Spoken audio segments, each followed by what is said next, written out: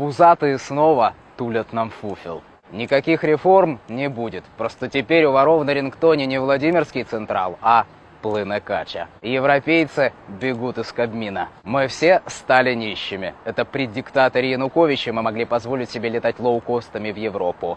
При победе Евромайдана мы можем позволить себе только турпоход в Жмеринку. 70% населения за чертой бедности. Это нардеп получает 6 тысяч гривен по квитанции, а десятку зелени налом от партийного папика. У простых людей другая математика. Как бы за коммуналку заплатить, да детей не завести в съемной-то квартире. Нас кинули, нам не дают оружие, а Запад уже снова в открытую обнимается с апологетом русского мира Лавровым.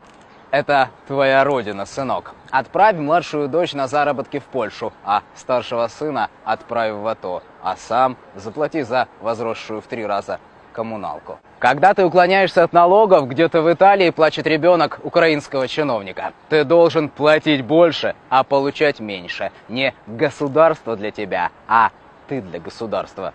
Понял, нищеброд. А ребята пока заработают на тендерах в АТО. Ну, к примеру, сорвут куш на изготовление неисправных броников. А самые ловкие и в очках сынульку пристроят в Минобороны. Ты что там возмущаешься? Ты что, сам не сепаратист? Может, тебя закрыть?